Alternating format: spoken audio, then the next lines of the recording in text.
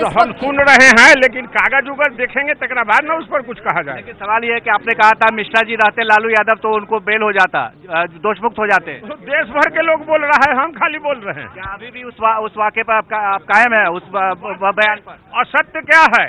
सत्य कहना अगर बगावत है तो समझो हम भी बागी हैं। ले- लेकिन आपने आप, आपने जो है कहा कि लालू यादव यादव नहीं मिश्रा होते तो उन्हें दोषमुक्त क्या कहा हमने यह कहा कि दोनों आरोपित थे उसमें एक रिहा हो गए एक बड़ी हो गए। यही हमने कहा। आपने कहा था ये हमारे रिकॉर्ड पर है। कहा जो नरेंद्र मोदी या नीतीश का मेल और यही है खेल यही हम बोला। आपने कहा था कि जगन्नाथ मिश्रा को बेल हो गया अगर यही लालू मिश्रा होते तो हो जाता। ना ये नहीं है ऐसा हम नहीं बोलते। तेजस्वी यादव ने को भी नोटिस मिला है आपको भी मिला है। अब नोटिस मिलबे न कैल है तो हम कैसे कहूँ जब मिला आप क्या माफ़ी मांगेंगे उस वक्तव्य के लिए? कौन कहता है माफ़ी मांगने के लिए?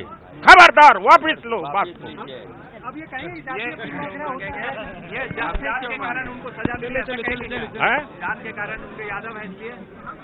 यादव ना नहीं ब्राह्मण से नहीं। उसमें उसमें गैर ब्राह्मण भी हुए हैं। उसमें बड़ी।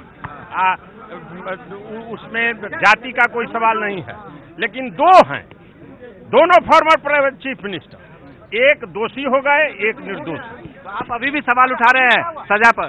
देश भर में चर्चा का विषय बन गया। सजा का रंग कल होगा फिर अभी कोर्ट में अंदर क्या हुआ? कल होगा सजा लालू सिंह हाँ हाँ कोर्ट के तरफ़ से टाल मटोल हो रहा है। दो बजे के बाद अब कल है हम कोई सुने तब ना।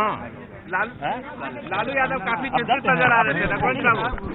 रघुवंश बाबू लालू यादव काफ़ी चिंतित नज़र आ रहे थे। कोई चिंतित नहीं है।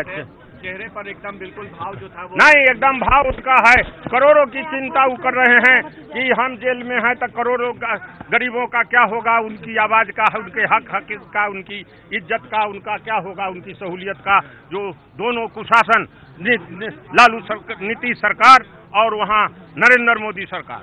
दोनों जो वादा खिलाफी किया वचन भंग किया फ्रेम किया जनता के साथ उनका क्या होगा? लालू यादव की सेहत कैसी है? लालू यादव की सेहत कैसी है? सेहत एकदम ठीक है। आपकी बातचीत हुई तो भरोसा है कुछ बातचीत हुई लालू जी साहब की? कुछ बातचीत हुई क्या? कौन जी की? लालू जी से हाँ बातचीत हुई कहे जो बैठिए तो ये है एबीपी न्यूज़ आपको रखे आगे।